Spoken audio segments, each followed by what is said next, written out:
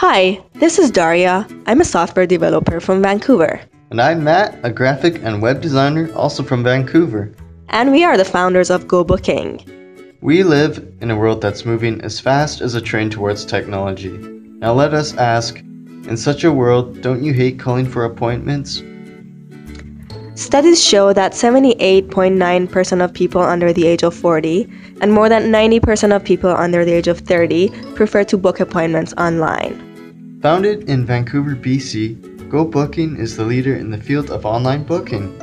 We offer a new concept of a two sided online user-friendly booking interface in which both the business and the client side have access. We have a team of five people in our East Vancouver office, which we plan on continuing to grow.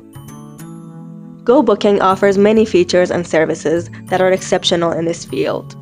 The additional features we offer are a customizable platform to implement into websites and the waiting list feature, which we feel will be very important for the medical field, for pricing, we have very compatible prices, as well as 3 month, 6 month, and 1 year packages with the $100 setup fee and the first month for free. And for customer support and services, we offer in person training and free tech support. Our target market is the dental and medical field in Vancouver.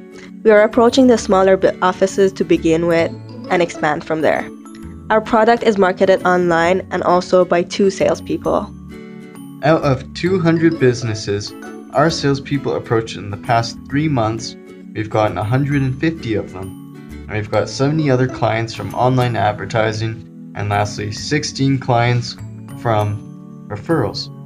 So far, within three months, we've made $31,860, and the gross profit of that is $16,000. We have five full time workers, two of which are salespeople and are on commission.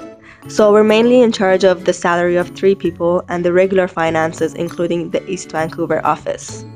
We are specifically focused on this company right now and are not working on any other projects because we see a bright future for this software. Thank you for listening.